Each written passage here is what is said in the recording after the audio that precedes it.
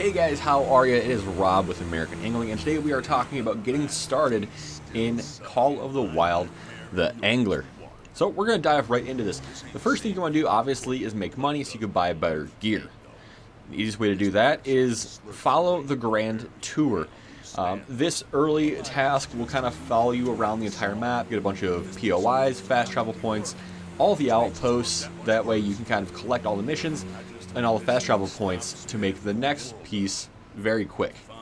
Now once you finish this, you should be about level 16 or so with about 3,000 to 3,500 in credits. Now you can purchase your first upgrade.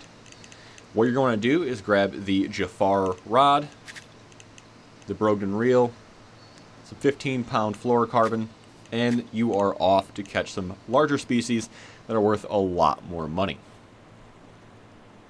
Now, I would heavily suggest doing the tasks in each area, and if you're curious about those, I do have some guides being made right now, but I do have a map up on the website if you're curious about that, and that's in the description down below for that. But if you aren't into grinding out tasks and want to grind out fish, I would then say go up north to Lake Cordium and fish that.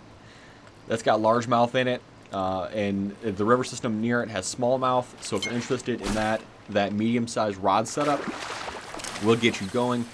Get you a couple hundred creds per bass, basically, uh, with a size 8 spinner bait, and you can pretty much get anything you need from there.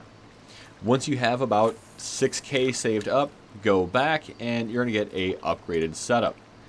So this next upgraded setup is going to look like this. The Growlier mediator, 44 pound fluorocarbon, and I usually will throw a size 4 spoon on this, though a 1-aught with a extra large grub um, does work very, very well. If you do want to do some spinning combos for um, lighter fish, what you can do is run something like the buckwheat rod, the Creo reel, maybe 4 pound line, a bubble, and like a size 8 or 10 hook.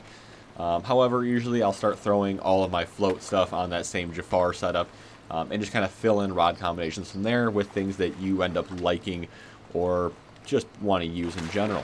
Now that you have kind of a baseline setup, these three combinations, well, let's be honest, two combinations are going to carry you through most of the game. As far as baits, this is what you're going to need.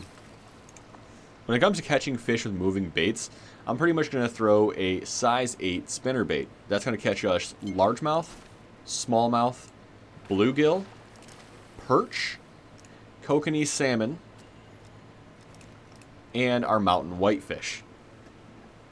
Um, you can catch rainbows on it, uh, but that goes back and forth with the next one that I'll use, which is the size 4 spoon. So that will be good for things like pike, sauger, and lake trout.